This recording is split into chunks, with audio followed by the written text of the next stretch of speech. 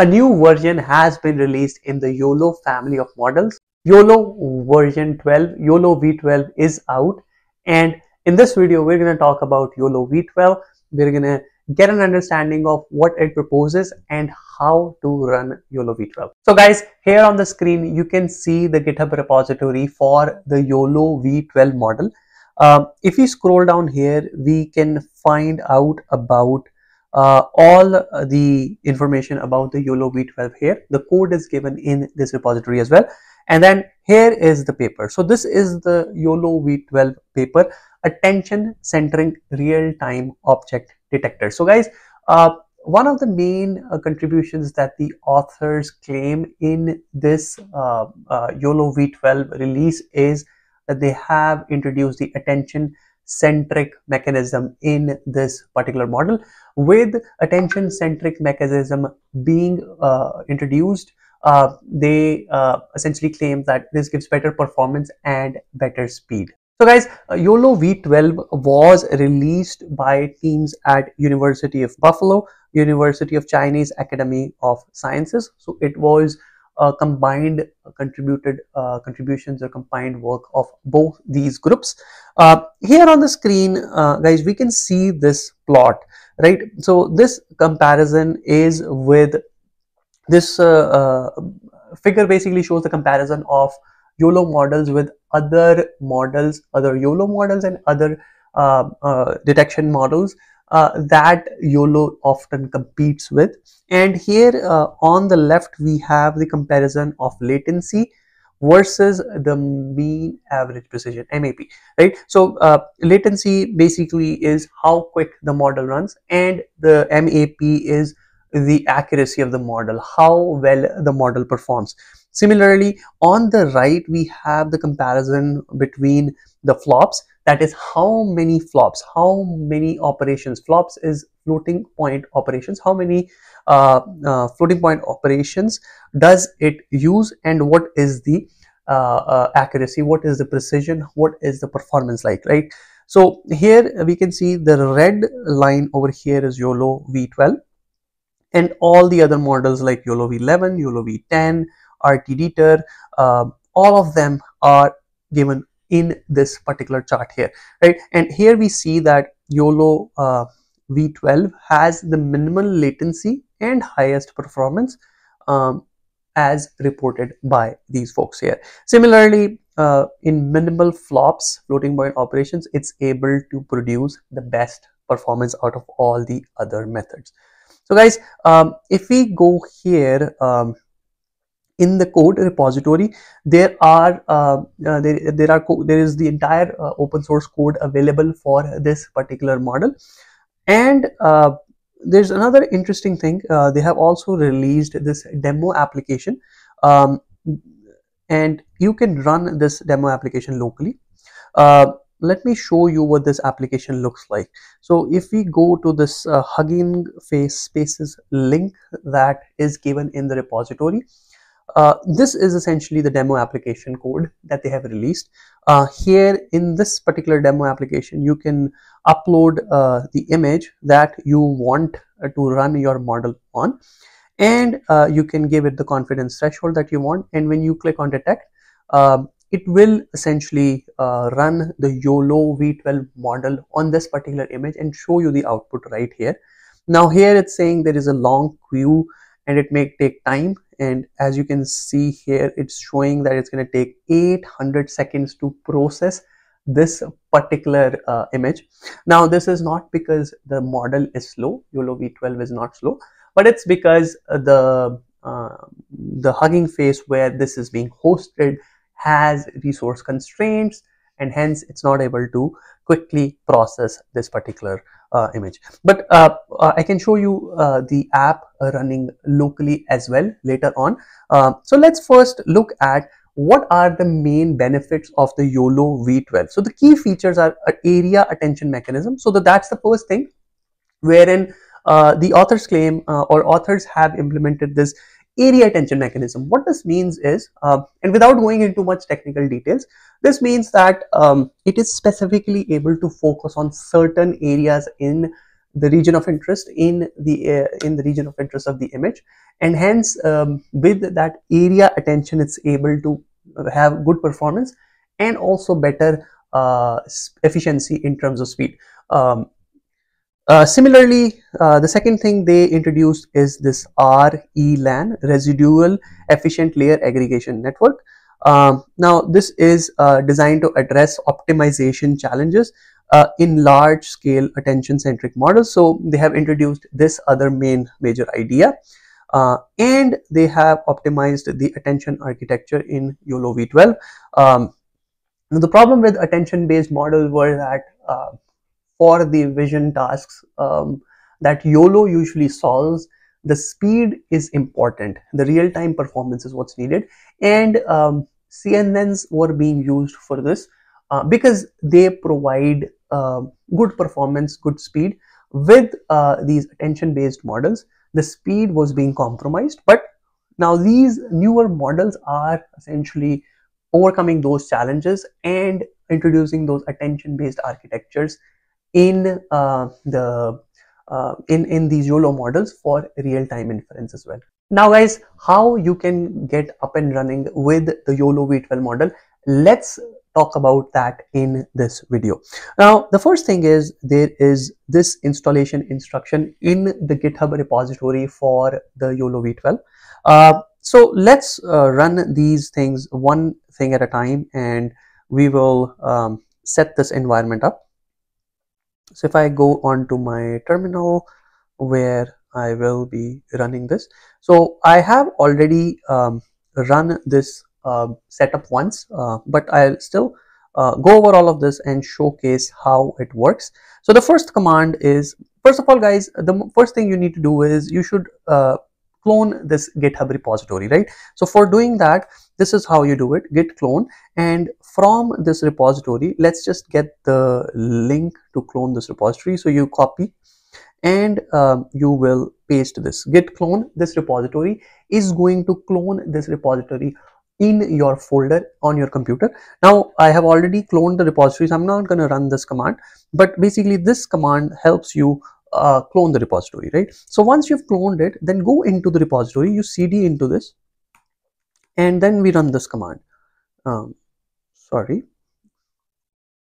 let me copy the correct command, um, which is from here, uh, the wget command here, which is going to download uh, the the the required software for the flash attention module that is used in this particular setup so when we run this, it is going to download the flash attention module to your local directory, right? So this is where that download is happening.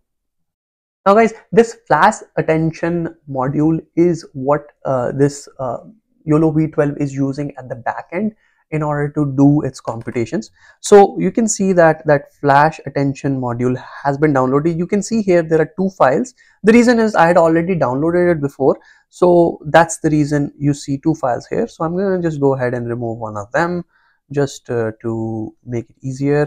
Uh, the second step here is to create a conda environment. Now again, this conda environment creation is just for the purpose of uh, creating a virtual environment so you can run your setup in there um, it's a good practice to create a virtual environment. So this is how you create it. If you run this command the virtual environment will be created. Now uh, because i've already created one so i am just going to activate it. So if we look on the screen here guys here is this uh, uh, command to activate that virtual environment. So i'm just going to run that command. And with that now I have activated a virtual environment. Now this command pip install dash r requirements is going to install all the requirements for this particular setup right? So let's go into the requirement file here and I'll show you these are all the requirements. So there's torch torch vision flash attention. Now this flash attention is what we just downloaded. This module we just downloaded right? Then there's all these other uh, packages that are required for this particular thing to run. Now guys once you have done this uh, the second next step is to install this particular package um, this particular software. So for that you run pip install dash e dot uh, which essentially will run this project We'll use the uh, this pyproject.toml to essentially install your entire project right? So uh, now guys um, after running pip install requirements uh, the next step as we know is pip install uh, dash e dot. And this will essentially um, install the entire github package in your virtual environment. Now once all of this is done your environment is ready. So because i've done all these steps um, i will um, essentially not run them again. The environment has been prepared. It's ready. And let me first show you this application uh, and that application code that they have provided python app.py is the application that we tried on Hugging Face, but it did not work or it did not give us the result quick enough. The reason being uh, a lot of resources are being consumed at Hugging Face every second. So let's run it locally here. So now this is being run and it says that you are running on this particular server, right? So if I go to that URL, now I can click on this image, I can use this image and automatically right away I can see the results, right? Um, I can upload some other images here as well. Let me show you some example from my own uh, desktop computer. Um, let's try this image here yeah for example this is a random image i was using for some other project. And here once this is run now it's essentially processing running the yolo model on this particular image. And in this case guys it's running the yolo v12 model v12 small. And it gives you the couch and the bottle right? So it has uh, done the detections properly. Now after doing all of this how can you actually use um, um, or how can you run this in code right? So i've set up a jupyter notebook right? You can do this in google colab as well after you've done all the setup of your environment. Uh, the first step is to import ultralytics uh, from ultralytics import the yolo model. Second step is to load the um, so this step here is basically going to load the yolo small model yolo 12 small model and this is the YOLO model. Now guys, uh, if we look at the model, this is the entire model. This is all the layers that are in the model. And if you are interested, you can go into the details, right? Now guys, uh, the next step is to run the uh, model on uh, your particular image. So over here, you can put the path to the image. So I put the path to the same image I showed you over here in this particular demo. Um, so I put that path to the image and I run the detection. Now, guys, it took around 18 milliseconds to run uh, the model on that image, which was 640 by 480. Now, this means at um, 18 milliseconds, is faster than 50 frames per second, right? So this is the real-time performance it's providing, right? And let's just save the results to the output JPEG in the folder. So if we go on to the YOLO V12 folder, and this is the output file, um, you can see that it's the same result as we saw in this particular output right? So this is how you can programmatically run the particular model. Now guys the next common question is that uh, everyone asks is that you know you've shown us uh, how to run it on an image but how do we run it on a video right? We want to see it running on a video. So here is a sample video. Let's first let me show you the sample input video that i want to feed into this model so guys, this is a video of uh, um, a highway and cars running on the highway. Let's see how the YOLO model performs on this particular video, right? So this is the sample input video. Now, uh, the very simple way of running this is uh, you run the model and pass it the path to the MP4, the video file that you want to run it on. And we are selecting here save equals true because it just makes it easier the entire output of the model inference is saved to a file and then we can view it later. So once we run it here you see it running right now guys so it's taking around uh, 8 to 10 millisecond in most of the frames sometimes it's taking 18 to 20 millisecond right? So the performance is above 50 frames per second in every single run and here uh, it's still running running running. And it's in, in total there are around 718 frames in this image. And as we are talking it has completed the processing for all the frames right? So now we can go ahead and look at the results. Um, so in uh, here um, in your source folder if we can see if you see here it says the results saved to um, your YOLO V12 runs detect under the predict folder. So guys if I open this particular file it will show the results from this run. And we can see that it has made the detections for all the cars. It's also detecting a person here and it is detecting almost everything in the scene. It's also detected the train here right? So the model is pretty good at doing. So were YOLO V10 V11 right? So these have been all good models. It's just now the difference between slight improvement in performance and speed and the architectures vary right? Uh, the other thing I want to show you guys in this video is that we have integrated the YOLO V12 in our uh, Vision product, um, which uh, uh, in which we have the uh, the support for almost all the YOLO version models, starting from YOLO V8, and here um, we have integrated V12 as well. Um, you could use YOLO V12 Nano, small, large model. Uh, any of them is okay and then this uh, video can be fed into the product and it will perform the detections on it right so for example here you can see the same video now the task here is just vehicle detection so it's not going to detect any persons and you can see in the screen here that all the vehicles have bounding boxes drawn around them. It's able to make the detections in the particular video guys. So um, in case you are interested to know more about this product um, we have demos available and we can help you. If you're looking to um, set yourself uh, up with some sort of a tracking system detection system for your facility for your industry we can assist you with that as well. Uh, uh, and, and this is uh, a dashboard and we can add more analytics right? For example we can have more analytics around how many detections you want to how you want to view the detections. Maybe you want to view uh, average detections per month weekly.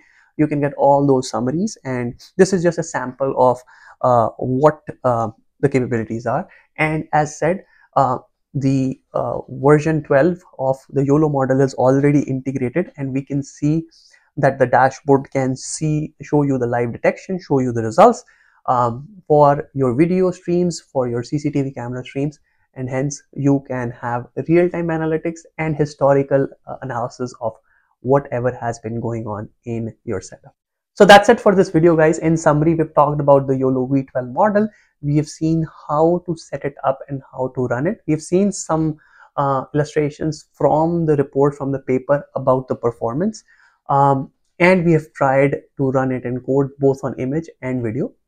Uh, we have also shown you uh, how this model integrates in the Convolve AI's Vision product, uh, which can be used for life detections and in order to um, uh, view historical trends and analysis of how these detections have happened over time. So common example is in warehouses or in manufacturing industry where uh, you want to track certain objects or you want to track um, certain uh, workers in hazardous areas you can have these kind of uh, uh, this product wherein these models ai models can be deployed that can help you do real-time detection notify people if they are doing something unsafe or also have historical trend of how your uh, workforce or how uh, the production how everything is progressing in your facility. That's it for this video guys. If you like this video please hit the like button subscribe to the channel and hit the bell icon so you are notified about any new video that we upload. Uh, if you think this will help any of your friends please share it with them. We would be grateful. Thanks a lot for watching guys and i'll see you in the next video